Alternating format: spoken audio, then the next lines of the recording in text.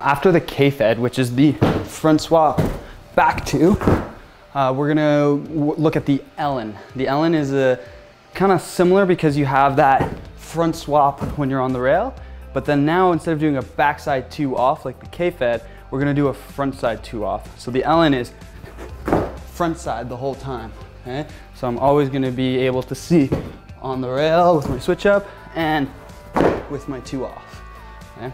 Um, with all these front uh, switch up to two out combinations, you can do them with different takeoffs. So I can also go switch lip, front swap, and then even front two off to this side, and it would still be considered an Ellen, just with a switch takeoff. I'm Dean Bergeron from Ski Addiction, helping you ski better.